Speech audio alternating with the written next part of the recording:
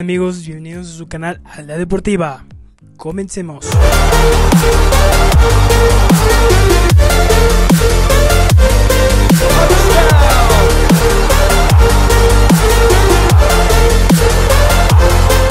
tal? Bienvenidos a su canal de deportes favorito, Alda Deportiva. Espero que se lo estén pasando muy bien a pesar de la pandemia. Y esta semana estamos de gala, ya que esta semana se celebra el clásico español, el clásico que mueve a casi todo el mundo.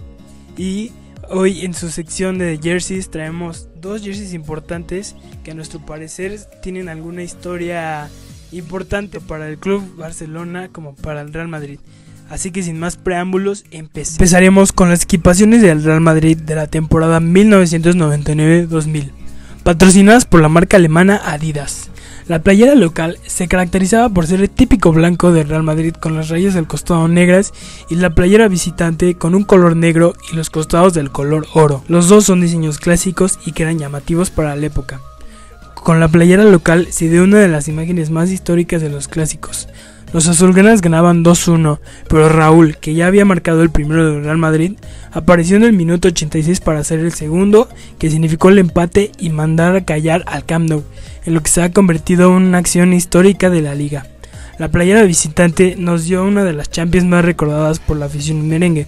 La final a partido único tuvo lugar el 24 de mayo de 2000 en el Stade de France de Saint-Denis de París y en ella se enfrentaron el Real Madrid y el Valencia con goles de Fernando Morientes, Stick McManaman y quien más si no es el histórico Raúl González con su gol estando solo a portería y humillando al arquero del Valencia, Santiago Cañizares, le dio la victoria al equipo madrileño por un marcador de 3-0.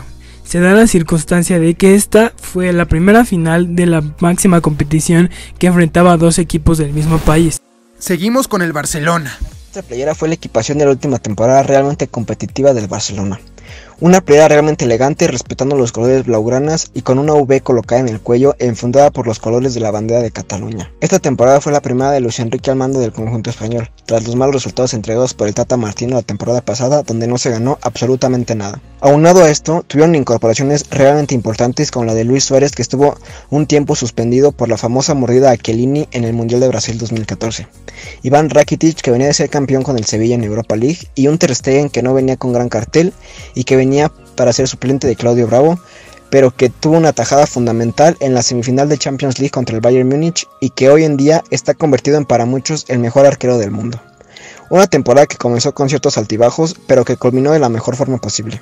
Campeones de Liga Española, campeones de la Champions League, venciendo a la Juventus en la final, con un marcador de 3-1 y la Copa del Rey contra el Athletic de Bilbao consiguiendo de esta manera su segundo triplete en su historia, igualando la marca realizada en la temporada 2008-2009. Desgraciadamente no todo fue color de rosa, ya que fue la última temporada que pudimos ver al histórico Xavi Hernández vistiendo la casaca braugana tras 17 años, ya que al finalizar dicha temporada partió al fútbol de Qatar. Bien, ¿qué tal les pareció las playeras? Espero que esta sección sea de su agrado.